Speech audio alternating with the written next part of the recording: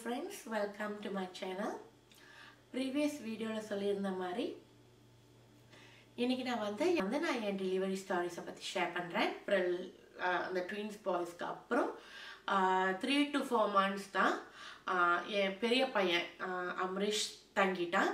அது எங்- வந்து எங்களுக்கு சர்ப்ரைஸாகவும் இருந்துச்சு ஓவர் ஜாயாகவும் இருந்தது. டுவெல் ஃபிக்ஸ் ஃபர்ஸ்ட் டுவெல் ஃபிக்ஸ்க்கு அப்புறம் தான் ஸ்கேனிங் போவாங்க. நார்மல் சர்வீஸ் ஸ்கேன் பண்ணிக்கிட்டு இருக்கிறப்ப வந்து um, சிக்ஸ்டீன்த் வீக்கில் வந்து திருப்பி கண்டுபிடிச்சாங்க. சர்விக்ஸ் வந்து இவன் தோ சிங்கிள் டன் ப்ரெக்னன்சியாக இருந்தாலும் சர்விக்ஸ் வந்து சின்னதாக ஆரம்பிச்சிட்டு ஸோ இம்மீடியட்டாக அது வந்து ஒரு ஃப்ரைடே கண்டுபிடிச்சாங்க. இம்மீடியட்டாக மண்டே அதே மண்டே வந்து எனக்கு வந்து சர்க்லாச் போட ஆரம்பிச்சிட்டாங்க. ஸோ சர்க்லாச்சுக்கு போட ஆரம்பித்ததுக்கு காரணம் வந்து அந்த சர்விக்ஸ் வந்து அந்த சர்க்லாச் போட்டு சர்விக்ஸ் வந்து டைட்டாக மூடி டைட்டாக டைட் பண்ணிட்டாங்க. டைட் பண்ணிட்டா அதுலேயும் ரிஸ்க் இருக்கு.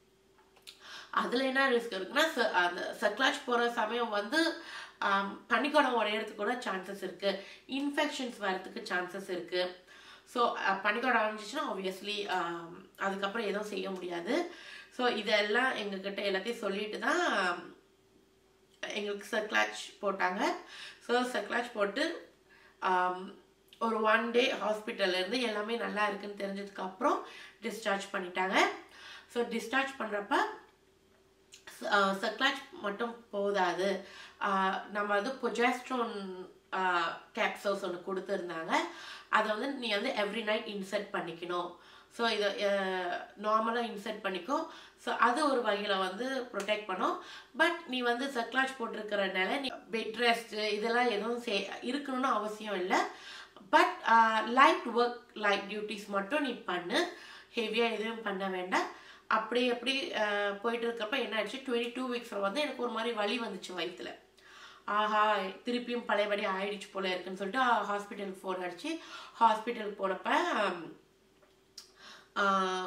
கண்டுபிடிச்சாங்க இட்ஸ் அ யூடிஐன்னு ஸோ யூடிஐ யூடிஐ தெரிஞ்ச கையில் மனசு கொஞ்சம் நிம்மதியாக இருந்துச்சு. சரி அது வந்து ஆன்டிபயோட்டிக்ஸ் கொடுத்து அதை கிளியர் பண்ணிட்டாங்க. அதுக்கப்புறம் எவ்ரி டூ வீக்ஸ் நான் போயிட்டு இருக்கிறப்ப சர்விக்ஸ் வந்து ஷார்ட்டுன்னு ஆனது வந்து டூ பாயிண்ட் த்ரீ சென்டிமீட்டரில் இருந்தது. ஸோ அது அப்படியே மெயின்டைன் ஆகிட்டு இருந்தது. அப்புறம் ஒரு ஒரு லேட் Uh, மேபி uh, ஒரு டுவெண்ட்டி எயிட் வீக்ஸில் பார்த்தீங்கன்னா அது ஒன் பாயிண்ட் நைன் சென்டிமீட்டருக்கு வந்துருச்சு. ஸோ கொஞ்சம் கீ- கீழே இறங்கிட்டு அப்புறம் தேர்ட்டி ஒன் வீக்ஸில் பார்த்தீங்கன்னா எனக்கு வந்து கான்ட்ராக்ஷன் ஸ்டார்ட் ஆகிட்டு ஸோ எனக்கு தெரிஞ்ச சம்திங் இஸ் ராங் கான்ட்ராக்ஷன்ஸ் மாதிரி இருக்குன்னா இமீடியட்டாக ஹாஸ்பிட்டல் போனோன்னா இன்ஃபேக்ட் உங்களுக்கு வந்து கான்ட்ராக்ஷன்ஸ் தான் ஸ்டார்ட் ஆகிட்டுன்னு செக் பண்ணி uh, கான்ட்ராக்ஷன்ஸ் தான் லேபருக்கு ஸ்டார்ட் பண்ணுது. ஸோ என்னை அட்மிட் பண்ணி அந்த கன்ஸ்ட்ரக்ஷன்ஸை அவங்க ஸ்டாப் பண்ணியிருந்தாங்க. ஸோ அது பார்த்தீங்கன்னா ஒரு பத்து நாள் மட்டும்தான் இருந்தது. அதுக்கப்புறம் பத்து நாள் கழிச்சு திருப்பியும் எனக்கு வழி வந்தப்போ திருப்பியும் போனோன்னே அவங்க சொல்லிட்டாங்க ஓகே அகெயின் அவன் பாடி வந்து கன்ட்ராக்ஷன்ஸை ஸ்டார்ட் பண்ணிவிட்டு சாரி லேபரை ஸ்டார்ட் பண்ணது. ஸோ நம்ம வந்து வேறு வழியில் குழந்தைய வந்து வெளியே எடுத்துடலான்னு சொல்லிட்டு பையன் வந்து தேர்ட்டி த்ரீ வீக்ஸில் பிறந்துட்டாரு. ஸோ அவரும் ப்ரீ டேர்ம் தான். பட் என்ன ஒரு அட்வான்டேஜ்னா லேட் ப்ரீ டேர்ம்னால ஹாஸ்பிட்டலில் வந்து ஒரு மூணு வாரம் வச்சுருந்தாங்க. அதுக்கப்புறம் அவர் சொந்தமாக பால் குடிக்க ஸ்டார்ட் பண்ண கையோட ஓஹோ இல்லை இவர் வந்து பால் குடிக்கிறதுக்கு முன்னாடியே நாங்கள் வந்து வீட்டுக்கு கொண்டு வந்துட்டோம். ஸோ அவர் ஃபீடிங் டியூப்போட தான் வீட்டுக்கு வந்திருந்தாரு. ஸோ ஃபீடிங் டியூப்போட தான் அது ஒரு ரெண்டு வாரம் ஃபீடிங் டியூப்போட தான் வீட்டில் இருந்தார். ஸோ டாக்டர் அந்த மிட் வாய்ஸ் சொல்லி கொடுத்துருவாங்க எப்படி வந்து ஃபீட் பண்ணணும்னு. ஸோ அதுக்கு தகுந்த மாதிரி நாங்கள் ஃபீட் பண்ணிவிட்டு ஃபீட் பண்ணிட்டு இருந்தேன். பட் அந்த டெலிவர் பண்ணதுக்கு அப்புறம் சிசேரியன் வழியாக தான் பிறந்தாரு. சிசேரியனுக்கு அப்புறம் வந்து என்னோட சர்க்லாஜை வந்து அவங்க ரிமூவ் பண்ணிட்டாங்க. ஆஃப்டர் டூ வீக்ஸ் கழிச்சு அவர் வெயிட் போட ஆரம்பிச்சிட்டாரு. அதுக்கப்புறம் வந்து நார்மல் ஃபீட் பண்ணுறப்போ நார்மலாக குடிக்க ஆரம்பிச்ச கையில மீட் வைஃப் சொல்லிட்டாங்க. டியூப்பை எடுத்துகிட்டு நார்மலாகவே பால் கொடுங்கன்னு சொல்லிட்டு நார்மலாக கொடுத்தோன்னே அவர் கிராஜுவலாக வெயிட் இன்க்ரீஸ் ஆகணுன்னா okay everything looks good சொல்லிட்டு அதோட அவங்க வீட்டுக்கு வரதை ஸ்டாப் பண்ணிட்டாங்க. ஸோ அவர் ப்ரீட்டம்னால நம்மளுக்கு கொஞ்சம் பயமாகவும் இருந்தது. சம்ஹாவ் வந்து நான் புல் ட்ரூ பண்ணிட்டேன். அவருக்கு வந்து ஒரு ஒன்றரை வயசு கூட இன்னும் ஆகலை. அதுக்குள்ளார என் சின்ன பையன் தங்கிட்டான். So again same procedure three twelve weeks கழித்து ஹாஸ்பிட்டல் போயிருந்தோம். ஸ்கேனிங்க்கு அதுலேருந்து பட் இவருக்கு வந்து என்ன பண்ணிட்டாங்க? உனக்கு ஏற்கனவே ஹிஸ்ட்ரி இருக்குது இன்காம்பிட்டன்ட் சர்விக்ஸ்க்கு ஹிஸ்ட்ரி இருக்குன்னு சொல்லிட்டு ஃபார்ட்டீன் வீக்ஸ்லேயே செக்லாச் பண்ணிடலான்னு சொல்லிட்டாங்க.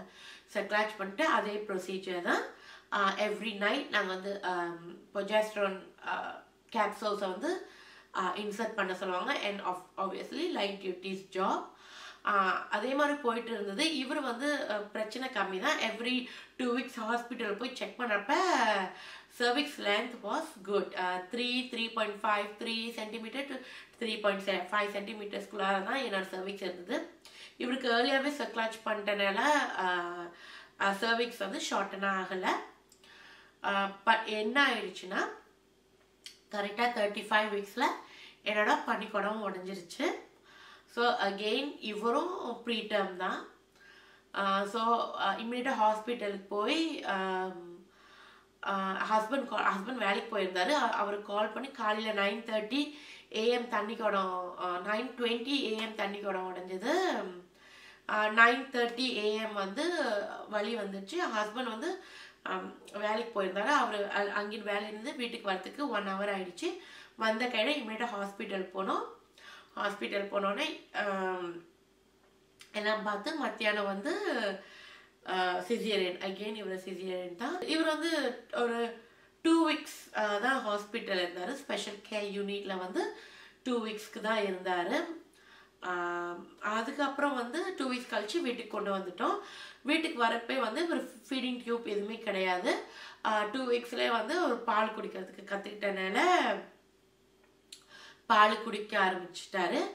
ஸோ அதுக்கப்புறம் வந்து ஆப்வியஸ்லி அவரோட வெயிட் கெயின் எல்லாம் செக் பண்ணிட்டு ஒரு ஒன் மந்த் கழிச்சு மிட் ஒய்ஃப் சொன்னாங்க எவ்ரி திங் லுக்ஸ் குட் சொல்லிட்டு அவங்களும் வந்து வரது ஸ்டாப் பண்ணிட்டாங்க. பட் அதுலேருந்து நம்ம வந்து ப்ரீட்டம்னால கொஞ்சம் கேர் எடுத்து தான் பார்த்துக்க வேண்டியது இருக்குது ஓகே ஃப்ரெண்ட்ஸ் இதுதான் வந்து என்னோட இன்காம்பிடன்ஸ் சர்விக்ஸ் ஸ்டாரியும் என்னோட